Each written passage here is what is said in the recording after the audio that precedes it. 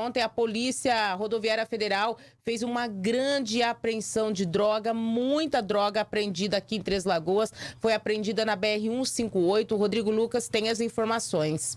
E a semana nem começou direito e a Polícia Rodoviária Federal já apreendeu mais de duas toneladas de entorpecentes aqui na nossa região. A primeira delas foi no último domingo, onde a Polícia Rodoviária Federal realizava uma busca de rotina e conseguiu aí abordar um veículo e dentro do veículo apreendeu mais de meia tonelada de maconha. A segunda envolvendo este veículo na manhã desta terça-feira, onde os policiais estavam aí realizando a fiscalização de rotina também na BR 158, quando avistaram esse veículo, essa Fiat Toro. O motorista, o suspeito, acabou demonstrando nervosismo, a polícia parou e aí, olha só o que a polícia encontrou dentro do veículo, veículo abarrotado de drogas aqui na nossa nossa região. Ao ser indagado, o motorista disse que pegou essa droga em uma cidade e estava vindo aqui para Três Lagoas. O motorista disse que saiu de Ponta Porã e foi de ônibus até Iviema, onde entregou o veículo é, e iria pegar esse veículo em Três Lagoas. O veículo e as drogas foram encaminhados então à Delegacia de Polícia Federal de Três Lagoas e agora o motorista deve responder